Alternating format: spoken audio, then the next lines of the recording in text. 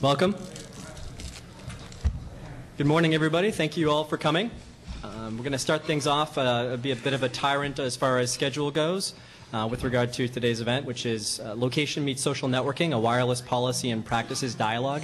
This event is hosted by the Congressional Internet Caucus Advisory Committee, which is a group of about 200 organizations, um, public interest organizations, nonprofits, think tanks, trade associations, and corporations that work to try to address um, certain policy issues and, and, present the issues in a fair and balanced manner. And we've put together an incredibly diverse panel and set of panels for today's discussions. We have a few presentations, a few panels, and at the end, we're going to finish it off with a discussion of uh, best practices and, and responsible implementations.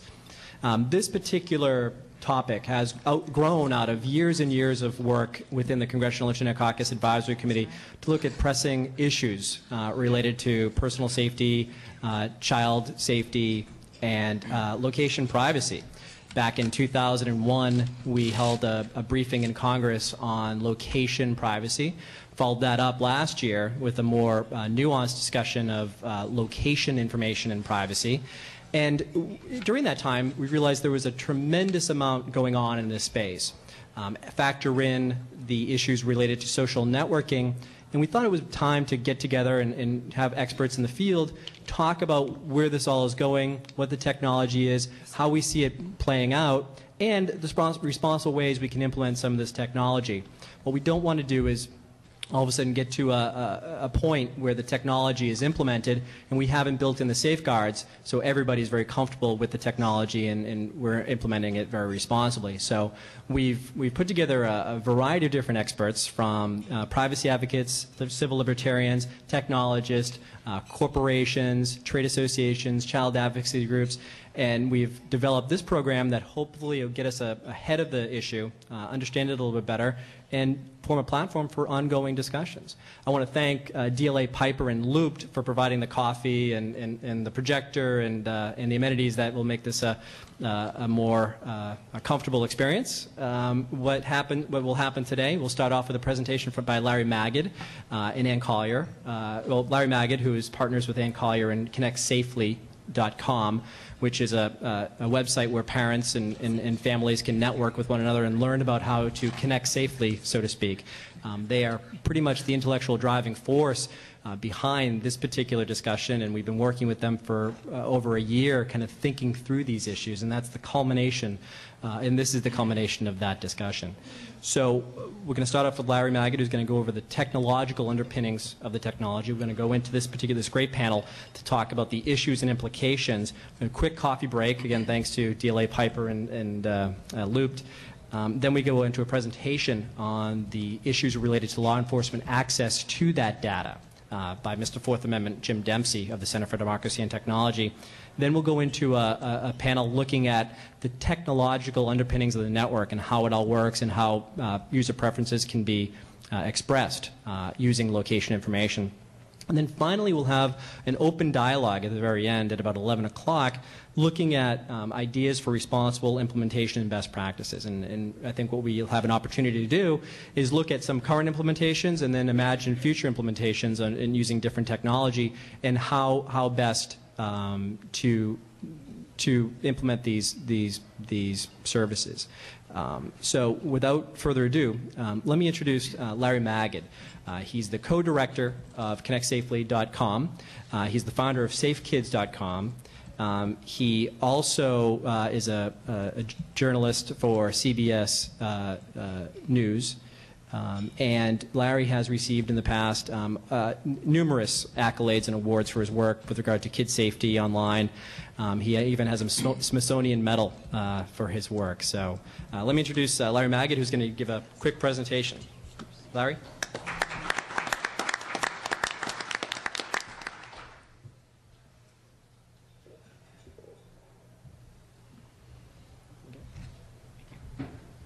Good morning. Well, I'm going to go over some technologies, and if it's a little bit mind-numbing, I apologize. It is not normally my style to give PowerPoints, uh, but because we're dealing with specific technologies, I thought for today only I would do that.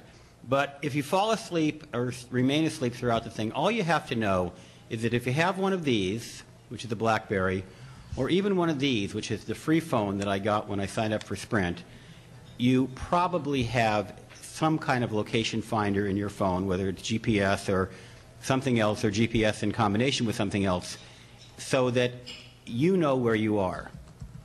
But because it's also a phone, and therefore a radio, and therefore able to transmit, someone or something else also knows where you are. And we'll talk a little bit why, in a minute, moment, why that's the case. But the fact is that if you take away nothing else from today, realize that as you walk around, and I'm sure all of you are carrying one of these, uh, you are not alone. So what we're talking about today is location-based services, um, which have been around for a number of years, and they're growing at a reasonably rapid rate. Um, it started out with emergency 911, so that when you call 911 from your phone, your location is known. Uh, as you know, when you call 911 from a landline, uh, the authorities know where you are, and this has saved many lives because sometimes people make these calls and they're not able to say where they are or who they are. Sometimes they are simply able to dial 911, and that's it. Now that cell phones have become so, so popular, and many homes don't even have landlines. My, my children are examples. My son lives at UCLA with uh, four roommates, and instead of Verizon getting $20 to share among uh, four users, uh, Verizon and Sprint and Cingular and others are sharing hundreds of dollars among the four uh, tenants of that apartment. Uh, so it's certainly good for that industry, but it means that when I call my son, I have no idea where he is, and if he were ever to have to make an emergency call from his apartment, uh, he would have to rely on E911. But there's more. Navigation, Telenav is an, is an example of a company that uh, allows you to find yourself through your cell phone. And this happened to me a few weeks ago. I was in a cab from uh, Alexandria off to uh, Reston, Virginia, and the cab driver didn't know how to find where I was going, nor did I. And on my phone, I was able to bring up a GPS system, track where we were, and get us to where we wanted to be uh, through my cell phone using a service that costs a few dollars a month. We've all heard of OnStar, uh, and they're more than happy to brag about all the lives they've saved. But indeed, OnStar is using location finder GPS combined with a cell phone. Child finders, very common, uh, uh, although not that popular yet, but the notion is you give your kid a cell phone and you're able to track them. Uh, advertising and search, I'm sure we're going to talk about later in the day. Uh, traffic applications, I already mentioned. Uh, fleet tracking, big business for fleet tracking, tracking assets. This kind of technology makes a lot of sense if you're a police dispatcher and you need to know where your officers are, or if you run a trucking firm and you need to know where your trucks are. Obviously, if you have location finding technology, uh, it enables you to avoid the call, car 54, where are you? Um, and then we're going to talk about social mapping today, uh, and I'll leave that up to the folks at Loopt and others to talk about self-guided tours.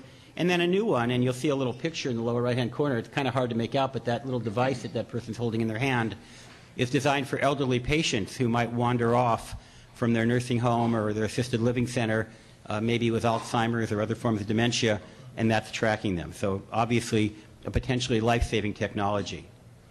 Uh, it's hard to estimate the size of this or many other markets, but I did speak with David Williams, who uh, is one of the consulting uh, uh firms in the marketing area, and he estimates that, that it's roughly about $750 million today in the U.S. and Canada, and he thinks that that's probably a very conservative estimate.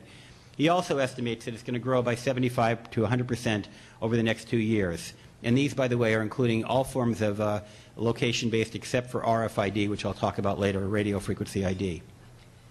So why? We talked earlier about why they have the capability, and it's all based on federal mandates. Uh, the FCC has a two-phase program that it's uh, rolling out nationwide. Uh, phase one requires that they be able to pinpoint your location within a certain period, uh, range, and we'll talk a little bit later about what that is and how they do it. And phase two is that they find you within 50 to 300 meters. Um, I found out that my local uh, service didn't have it in August when I fell down on my bike and broke my elbow and had to call 911 from my cell phone, and I had to figure out where I was because they didn't know. So it's not quite there yet, at least in my community, but ultimately it will be. Now, this is where I want to talk about the technologies. You've all heard of GPS. Many of you probably have a GPS receiver in your car. And the way GPS works is that above us, right now, there are 24 satellites circling the Earth, and each one is in a known location in, in, in orbit. and each one is transmitting 24 7 their location down to Earth that your receiver is picking up on. And so by doing some math, estimating, for example, how long it takes for the signal to reach you, when the satellites transmit the signal, they're time stamped. So the satellite knows when the signal was sent, your receiver knows when the signal was sent, your receiver also knows when it was received. And even though we're talking about tens of fractions of seconds, I mean a tiny, tiny amount of time, that's enough time for the receiver to calculate the actual position of the satellites. So if it's talking to enough satellites, uh, typically four is a good fix, if it's able to position the various satellites over, over you, it can determine your location within a couple of meters. And if you've, any of you have ever used GPS in a car, you'll know that it is surprisingly accurate as long as you have a line of sight position to the satellite. So if you're uh, in a dense forest, if you're under, on a, under a tunnel, or in an urban environment where, where the line of sight is blocked, you might not get that signal. But if you're out in the clear, chances are you know where you are. But because most GPS units are standalone and they're not connected to a phone system, you and only you know where you are with a typical GPS. And that brings us to a GPS. So I mentioned earlier that GPS is great if you're in the clear. But if you're not in the clear, then your GPS needs a little bit of an assist. And that gets to a GPS or assisted, I mistyped that, it shouldn't be assistant, assisted global positioning system. And a, an assisted global positioning system communicates with an assistant server.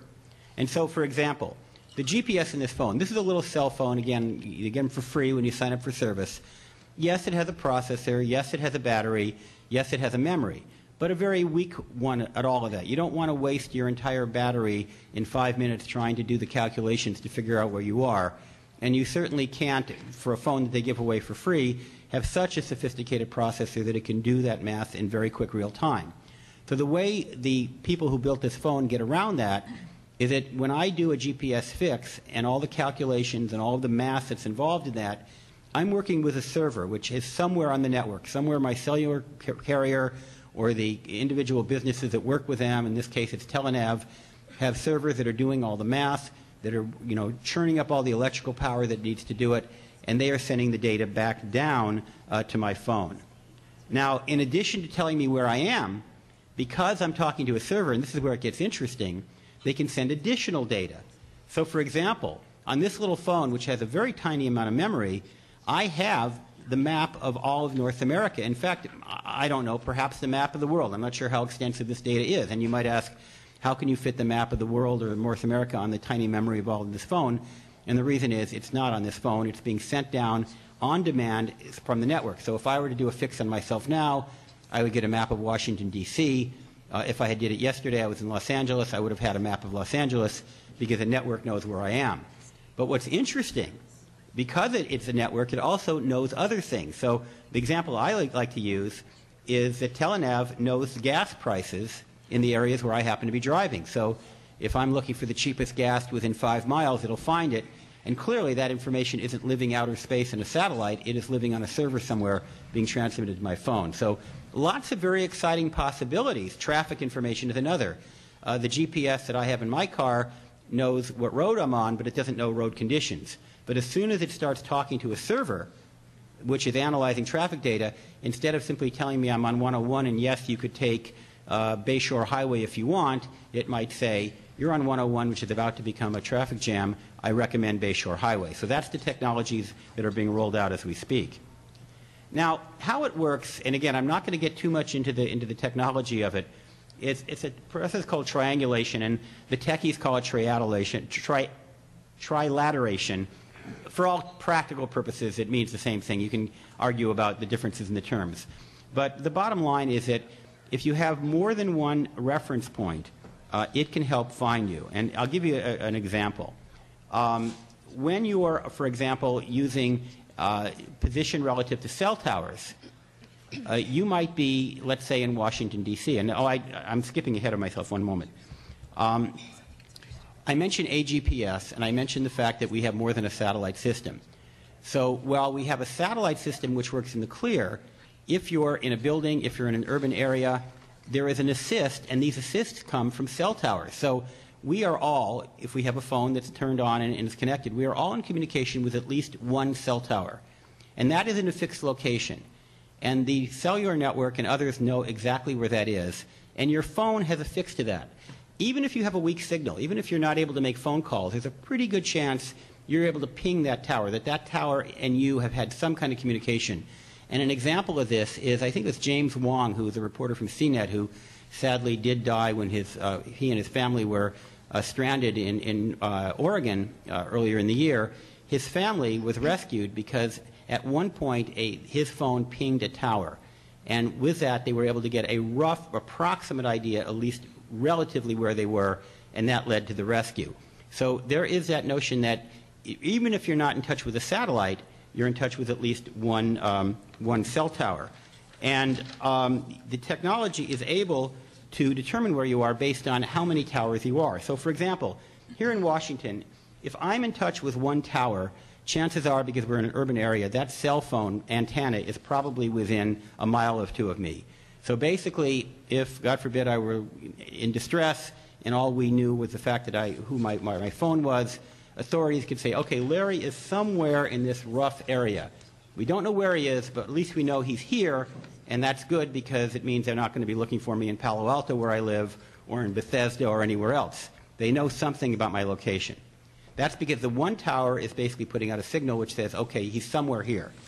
If I'm able to touch with two towers, and this is where triangulation works, there becomes an overlapping set of radiuses. And what we know from the two towers that I am somewhere in that middle sphere uh, where these two circles overlap, that I have to be right there. And that's a lot better than before. We, have pinpointed my location to a reasonable area, and certainly if this were uh, an open area, uh, authorities could probably search and locate me. Now, if you can get three or more towers, then it gets very interesting. As the three towers triangulate, and that's the try and triangulate, you're able to pinpoint the uh, location almost to an exact position. And I remember back years ago when I was a pilot, I used to use triangulation uh, to find myself if I were ever lost because it was the same technology. Triangulation has been around for a long, long time. And so in this case, you would actually be able to pinpoint me probably to this hotel, certainly to this block. Now, regardless of the technology today, you would not be able to tell what ballroom I'm in. So if you're law enforcement and you want to bust somebody in a big uh, office complex, chances are it's not going to help you find that person, at least not their suite. It might tell you the block they're on, it might tell you the building they're in, but it's not going to tell you the room you're in. So that actually, from the emergency system, from the E911 system, leaves a challenge because you may not actually be able to find it. So keep your landlines handy, especially if you live in an apartment complex. Um, again, there's a lot of different, what uh, Sam Altman, who's the founder of Loopt, uh, Mark Jacobstein, quote, gave me this quote. There's a lot of what they call, he calls fancy mass triangulation off of cell towers. And two of the more common ones are the uplink time difference of arrival and the advanced forward link. And uplink time difference of arrival is similar to what I talked about earlier. Just like the satellites are time stamping their messages and your receiver is time stamping them and able to calculate Exactly the same thing happens with cell towers. So a cell tower puts out a message which says that I sent this message at, you know, 901.23 seconds and your phone received it at 901.24 seconds and it gets that off of three different towers. It's able to, tra- to calculate that data and tell you your location. Again, that's probably happening on a server somewhere else, but your phone is delivering the information. Uh, and again, very similar technology uh, and it doesn't matter that you remember it, but the fancy math, which uses the uh, AFT or the advanced forward link triangulation, where uh, you have multiple uh, phone systems that, that project your, your actual position. A new technology, which is actually gaining a reasonable amount of traction, is Wi-Fi positioning systems. And I don't know if we have anybody here from Skyhook Wireless, but yes, we do. That's a company, I believe in Boston, where they have people driving the country mapping all of the uh, Wi-Fi hotspots, both public and private, encrypted and unencrypted. Now, when I first heard about this, I got a little creeped out. I said, "Do you mean to say somebody has driven in front of my suburban house in Palo Alto and noted the fact that I have a Wi-Fi tower and or a Wi-Fi signal in my house and is somehow going to impede on my privacy?" But I have been assured by the people that all they are noting is the fact that there is a Wi-Fi signal at this location they are not attempting to break into the signal, and in fact, it's irrelevant uh, that it's encrypted because all they need to know is that there is a signal located at this address, and they're able to pinpoint anytime anybody is in touch with that signal, they know that that person is within a reasonable distance, probably uh, several hundred feet from that address. And by using a similar technology uh, to what we talked about with cell phone towers, and really, uh, when it comes to the concept, similar te- technology to GPS, they are able to triangulate multiple uh, Wi-Fi hotspots to know where you are. So uh, this technology is very interesting. And this chart is from Skyhook Wireless, and I'm going to leave it up to them to prove that it's true because I didn't go out and do the math, but it makes absolute sense. That where you're in a, when you're in a, a rural area, when you're in an open area, that GPS or assisted GPS is going to be a lot more effective because obviously, as you drive uh, the Ventura Highway between Oxnard and uh, and Santa Barbara at 70 miles an hour, you're not going to be in touch with that many Wi-Fi hotspots. Uh, and certainly when you get out in the total boonies, you know, in the middle of Iowa, chances are that unless they're putting them on cows, and it wouldn't surprise me if they are, uh, you're not going to be in touch with too many Wi-Fi hotspots. So in that environment, satellites or other forms of technology are much better. But if you're roaming the canyons of New York City or Washington, D.C. or San Francisco, you're probably going to be in touch with thousands of, of hotspots perhaps per minute. Uh, certainly in San Francisco, uh, you know, you, you can basically, everywhere, they're out there. So the technology makes some sense. So what it means is we have yet another way of tracking where we're located. So uh, it's just either if it makes you happy or if it makes you paranoid, either way, it's important to note that, that they're out there knowing where you are. Um, the, an interesting thing about, about Skyhook is it has applications for a lot of things. I'm particularly interested in the AIM, uh, um, the AOL Instant Messenger application, because AM, AIM is used extensively by young people and older people as well. And I know we're going to talk about this in the panel later.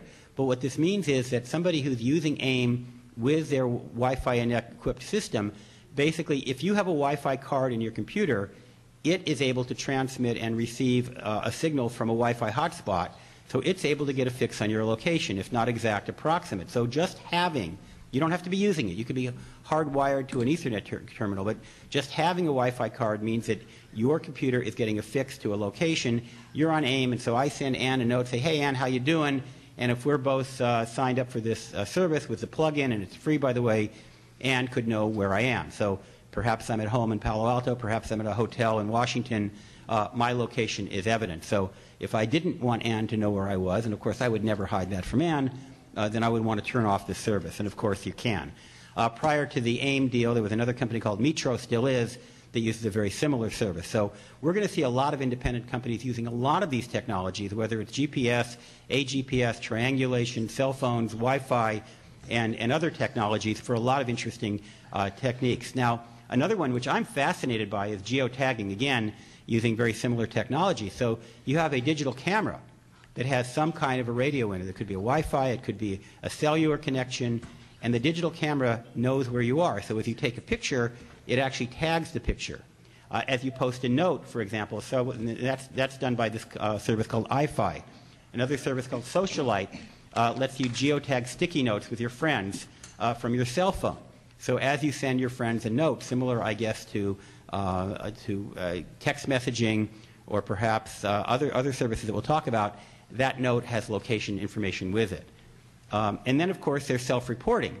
A Dodgeball from Google is a very early social mapping service where instead of relying on the technology, it relies on the person to say where they are.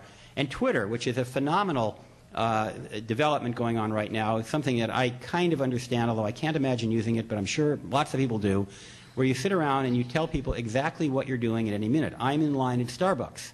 Uh, I'm waiting for a ticket. I'm at the, the ball game and Barry Bonds just hit a home run. And you can type these out on your, on your text messaging, and it's very popular, especially for those people who can type 100 words a minute on a telephone keypad. I'm not one of them. Uh, but it would not surprise me if Twitter wound up doing a deal with Skyhook or Loopt or Helio or anyone else uh, in this room, where their technology automatically uh, geotagged your location, uh, identified you, so you didn't even have to say, I'm standing in line at Starbucks. You just simply say, buying coffee, and they'd know exactly which coffee shop you were, you were, you were in. Um, there are some short distance technologies which are used to track assets in the case of RFID. There's been some talk um, that this could uh, develop into a uh, geotagging or location-based system. We're not seeing a lot of evidence about the, out there right now, but certainly RFID is a technology that we need to be aware exists, and also Bluetooth. Uh, I'm not sure where it stands, but Ericsson, a number of years ago, uh, developed something called Bluetooth Local Information Infotainment Point, uh, where the idea is you have a Bluetooth enabled phone, you're walking down the street, and you're walking by a pizza parlor that wants to get your business. They put out a, a coupon that says, come on in for a free slice of pizza or 50% off using the Bluetooth technology to, to do that. Now, uh, that certainly would work if you're close enough to the pizza parlor, but you'd have to be awfully close. And there's really no need to use Bluetooth because all of the other technology that I talked about would do exactly the same thing, and certainly they would know that you're relatively close to that pizza parlor. Now, this slide is really the transition into the panel uh, to simply point out that I have deliberately uh, not touched on all of the issues that location-based services bring up, and believe me, there are many. But I do want to sort of kick off the panel by reminding us that technology is neutral. That I don't care whether it's a kitchen knife that you use to cut your food and that somebody abuses to commit a crime with, uh, or a fixed-based mobile social network, uh, fixed-based social networking service like MySpace or Facebook or instant messaging or anything else. The technology is not inherently good, nor is it inherently bad. It is simply useful. And the real question is not um, how useful, but how it's used. And for that, I'm sure my colleagues will, will have a lot more to say.